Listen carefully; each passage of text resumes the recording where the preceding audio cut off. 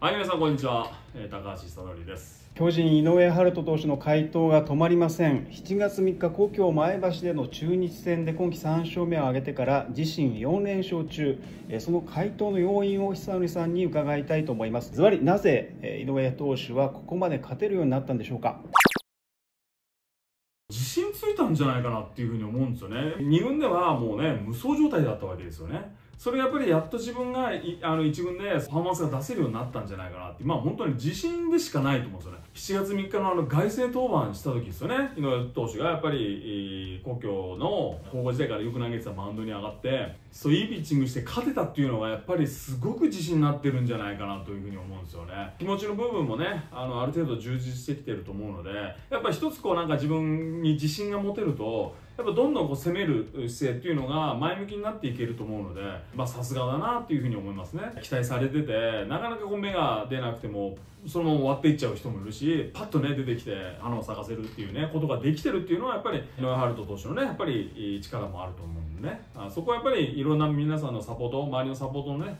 してくれる、まあ、監督、コーチだったり、ね、裏方さんだったり、まあ、もちろんね、家族だったりっていうのもあると思うんですけど、まあね、先輩後輩もあるかもしれないですけど、そういうね、人たちにも感謝しながら、あ今後もやっていかないといけないかなっていうふうに思いますね。4連勝中の井上投手の投球内容を振り返ってみて何か変化などは見られるんでしょうか？ゾーン内で、あの力むことなく押し引きがうまくできてんじゃないかなっていうふうに思うんですよね。例えば、ね、変化球でポンと簡単にカウント取って、ね、次速い球ポンと見して、えー次、えーひ低めの変化球で抑えるとかね。もともと力のあるまっすぐなんでそこをね中心に考えながらもやっぱりうまくこう変化球とかも組み合わせながら投げれてるのかなっていうふうに思いますね。あとやっぱりね本当気持ちですやっぱり。自信がなんかもう満ち溢れてるように見えます。あのもちろん僕今テレビでしかね見れないですけどテレビのやっぱり後ろ姿とか映る顔とか見ててもまあ、あの大丈夫でしょっていうようななんかそんな感じに見えるんですよね。でやっぱそんな勝ててなかった時はやっぱりなんかちょっとおっかなびっくり一軍の選手だからどうしようとかっていうようなちょっと引け引けた気持ちになってたように見えましたね。僕は僕にはですよ、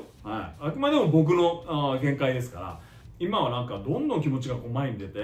キャッチャーにね打とうとしてる球を投げながらも自分でもしっかり考えられてる冷静なとこもあるし攻めることもできてるっていうようなことができてるんじゃないかなっていうふうに思いますね。だから2軍でやっぱりできてたことがやっと1軍で、えーこうやってできるようになったんじゃないかなっていうふうに思いますけどね。臨時コーチとして井上投手にまあ接した久野さんですけれども改めて井上投手のそのまあ強みっていうのはどんなところになるんでしょう？ストレート系じゃないですかね。あのあのファーストボールはやっぱりなかなかあそこにねスピン効いたキレのいいまっすぐ投げれる人はなかなかいないんじゃないかなというふうに思うのでね。羨ましいですね僕は。だからそういうそれぐらいやっぱりあのファーストボールを大事に重視して特にね今永投手とかああいう系のねボールのスピン量だと思うので、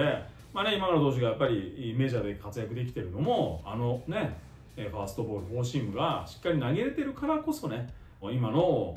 勝ち星が生まれたりとか防御率があるんじゃないかなとメジャーで成功できてるんじゃないかなというふうに思うのでやっぱり井上投手もねそれを大事にしてほしいなというふうに思いますね。今後もやっぱりそれをどんどん自分の長所を磨いていくっていうこともしないといけないですしなおかつね自分が得意じゃないボールもある程度投げれるようになっとかないとやっぱりね今こんだけデータのねえー世界ですしいろんなことが全部こう分かってしまう世界なんでね。それを自分がどんどん磨いていかないといけないですしそういうね苦手なボールもこれからあ克服していかないといけないんじゃないかなというふうに思いますけどね。久典さんがその臨時コーチの時に井上投手に教えた球種などはあったんでしたっけ？まさしくチェンジアップですね。僕がやっぱり得意としてたボールをもうね実際にも多分ジャイアンツの YouTube でもなあのなん流れてると思うんですけどハルトにえーキャッチャーの後ろから見せたりとかマウンドのとこから見せたりとかして、えーいろんなこう角度でこういうふうに投げたらこういう軌道を描くよとかそうすると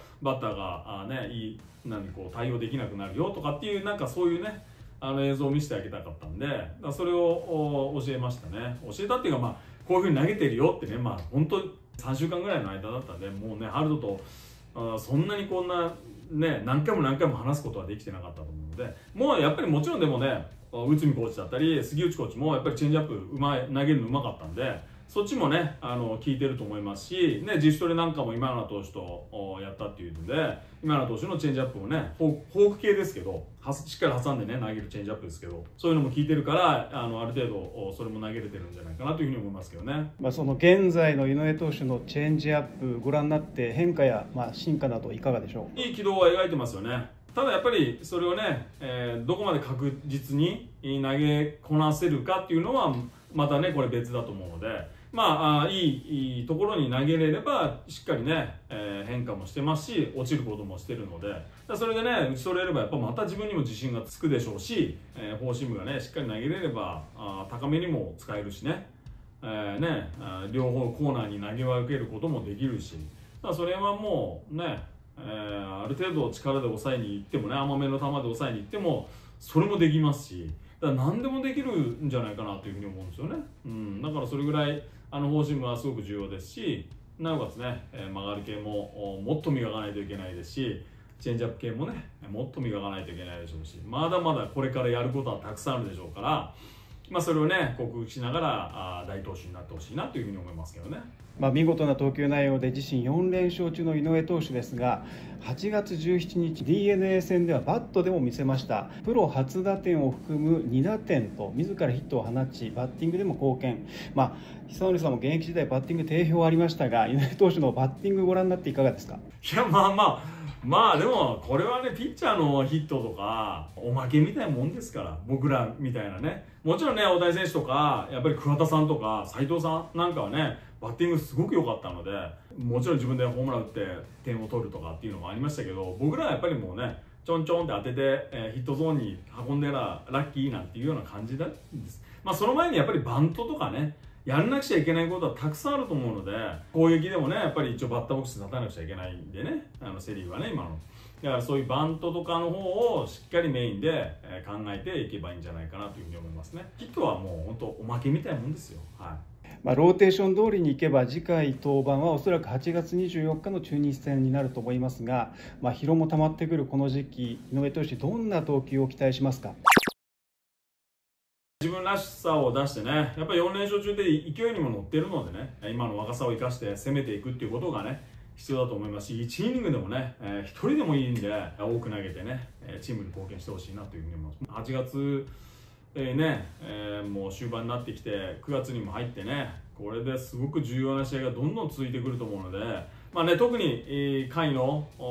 ね、いるチームにしてみたらね、上のチーム叩こうとかっていうね気持ちもあのあると思うのでね。そこに負けないぐらいのね、投球を見せてほしいなというふうに思いますね。うん。ということですね。このチャンネル一押しのね、え、井上春人投手について、えー、語りましたけど。まあでもね本当に、えー、頑張ってもらいたいピッチャーですし、ね、なおかつ、まあ、僕が臨時コーチ行った時にね少し関わりのあるピッチャーだったんでねすごく期待しています。このチャンネルでもねどんどん井上春人当時のことを語りたいなというふうに思います。はい、ということで本日はこれまでです。どうもありがとうございました。